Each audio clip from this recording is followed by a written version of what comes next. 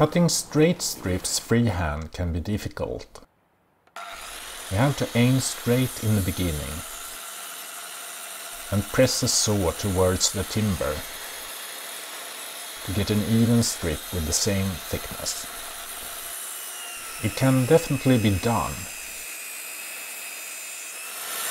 but any adjustment needed. Like lifting the saw over the sawhorse or moving the power cable or dust exhausting may result in uneven strips. Like this one. Thick here in the beginning and thin here further in. Ending up as frustrating waste.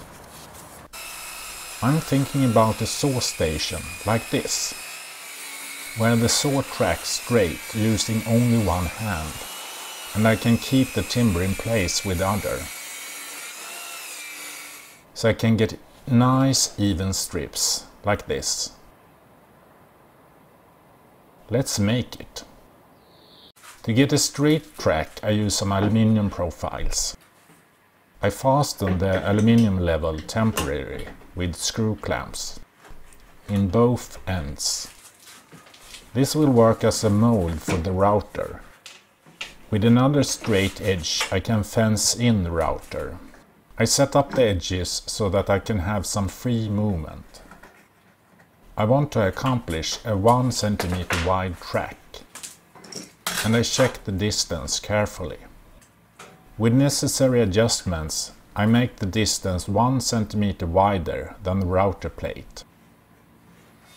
Now milling should be straightforward, until I run into problems with the clamps. I have to move one to free up some space.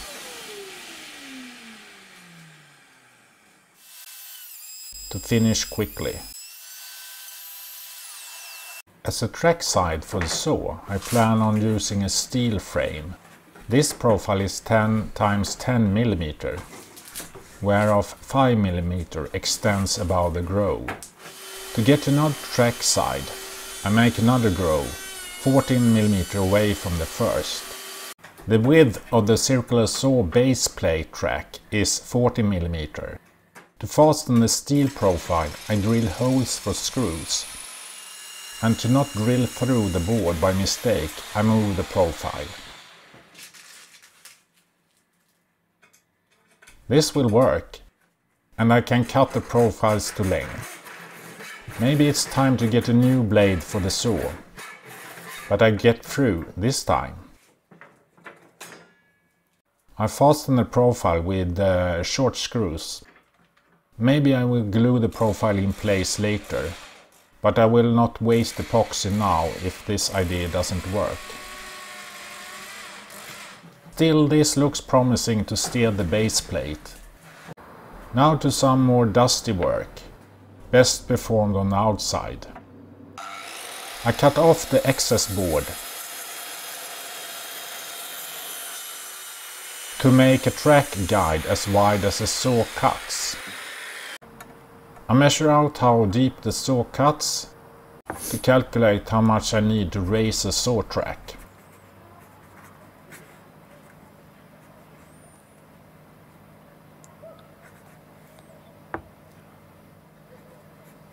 Fifty millimeter strips are needed to raise a saw. Now I can use a saw guide to cut the needed strips.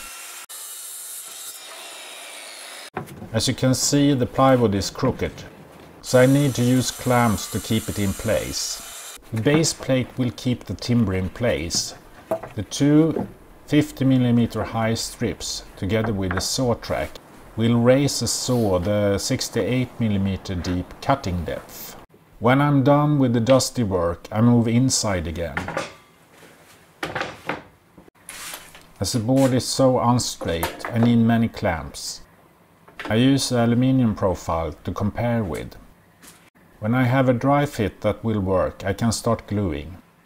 After wiping off the excess wood glue, I can put the strip roughly in place. Exact location requires clamps.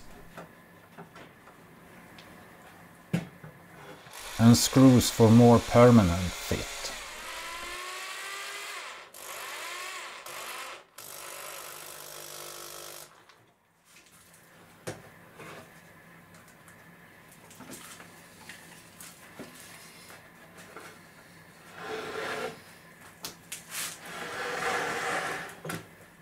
I need to repeat the process each 10 cm or so, as the plywood is so crooked.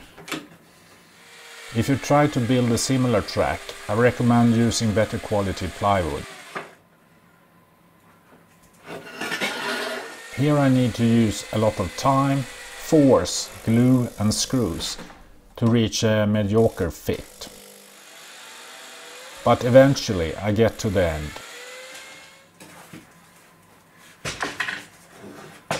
And it lines up straight enough. The second wall needs to be even straighter. And this U-turning plywood will require a lot of holding force. I start off in a similar way as with the first wall, using a lot of clamps.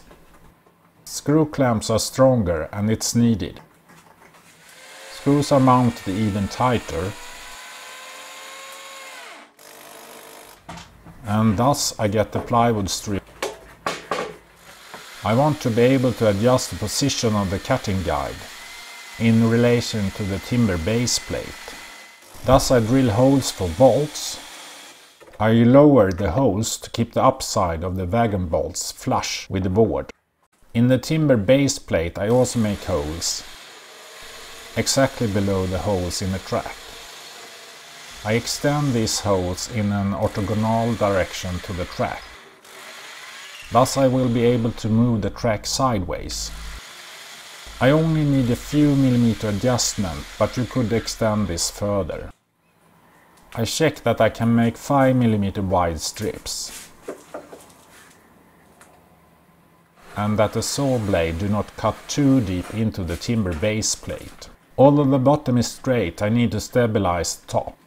I glue in 50mm wide cross sections to stabilize. And of course I need to apply pressure with different means. Screw clamps are best to straighten things out.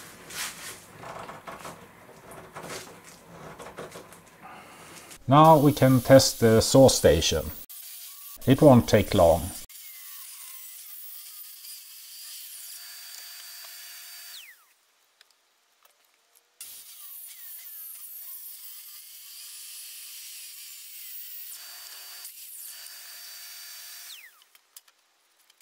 This is the result I want to have.